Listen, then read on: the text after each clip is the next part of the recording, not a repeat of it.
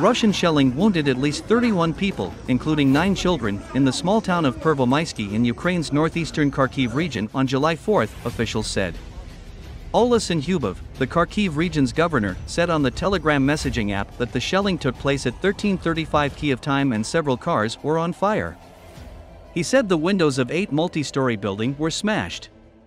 He posted several pictures of the building with smashed windows, dark smoke clouds, charred trees, and an overturned car. As of 3 p.m., we know of a significant number of wounded. 31 people were taken to a hospital, Andriy Yermak, head of Ukrainian President Volodymyr